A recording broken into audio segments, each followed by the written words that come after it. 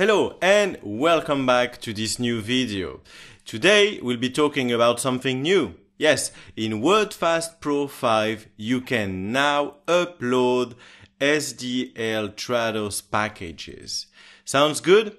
Well, let's see how you can do that in this video. Let's get started, shall we?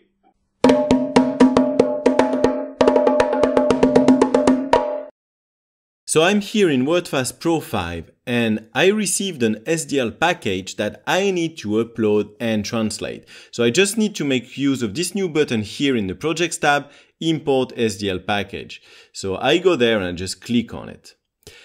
And this is going to open a dialog for me. And here first I need to locate my package. So uh, I click on browse and my project is here as you see. It has the proprietary SDL PPX extension, that's an SDL package, of course, and now I just click on open.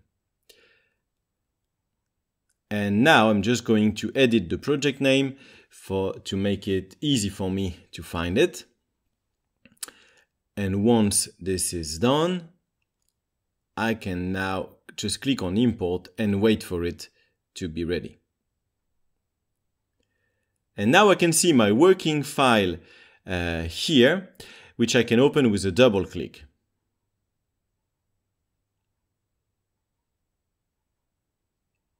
Okay, great. So my file is ready now and I can start translating it normally.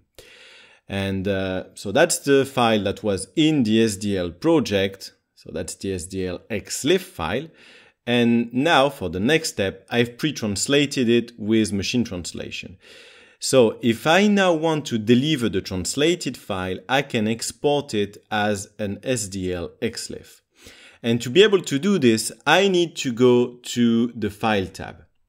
So let's do that. So I go to the File tab. Here the button I need to use is this one, Save File as Translated. So I click on it and I see when I click on it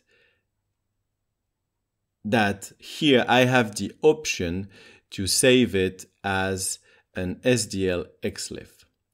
So that's exactly what I want to do. So I click on save. And I saved it to the desktop. And if we now take a look, the file has the correct extension, SDL XLIFF. So everything is fine. Now, to learn more, let's go to the current project view.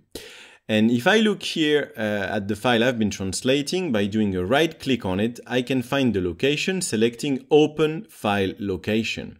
So that will now open the default location where WordFast stores the working file on my computer.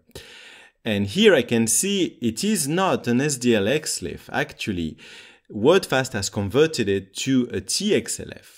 So your working file is a TXLF and that's why you need to export again as an SDLXLIFF like as we did to return the file in the same format as it came in.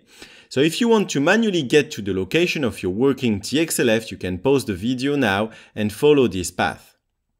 Now, let's talk about what we can learn from all this when importing an SDL package to WordFast Pro 5. WordFast will create a WF project from the SDL project. The SDL XLIFF from the project will be converted to a TXLF for you to be able to work on it. And you can export back the file to SDL XLIFF, of course. The SDLTM and the SDLTB, however, will not be imported automatically. So you'll have to convert them and add them manually if you need them. And I'll put a link in the video description to a video by CatGuru that explains how to convert these now, let's consider the situation where your client wants an SDL XLIFF file, but doesn't know how to upload it. Uh, then you can watch or make them watch this video right here. Or if you are in a situation where they really want an SDL return package, well, there is a way around that and you can build an SDL return package that will be fully working and I explained that in that video right here. And if you enjoyed these videos and if you want to support the channel and join the 100 plus subscribers to this channel, please click right here.